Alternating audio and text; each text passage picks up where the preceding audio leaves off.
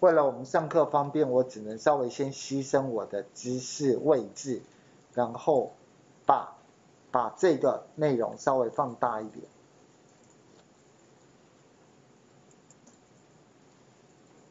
可以吗？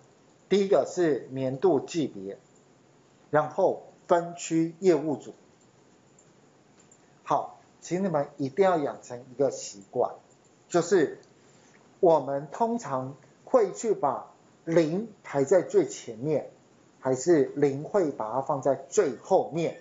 在做分呃成效分析的时候，我们会把零放在最前面，还是零放在最后面？当然是最后面。就是我们其实只要呈现这个院所指标，请由大排到小这件事。院所指标，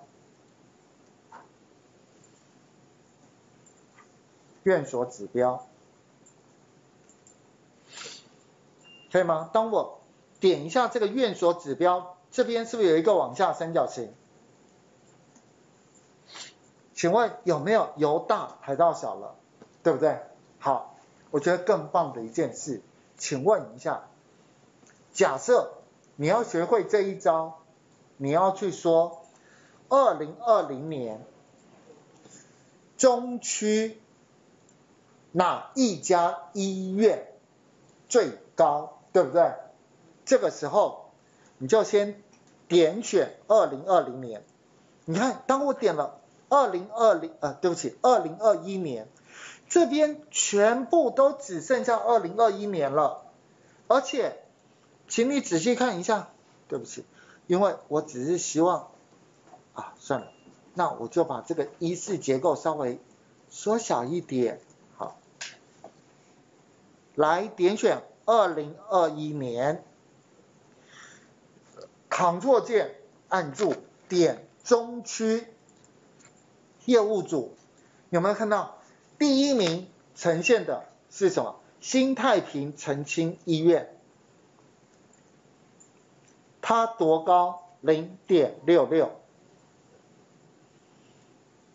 第二名零点六四的是中山医学大学附设医院中心分院，可以吗？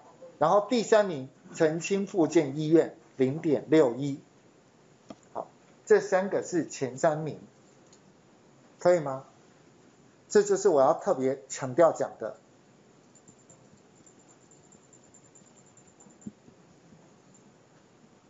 这样有没有问题？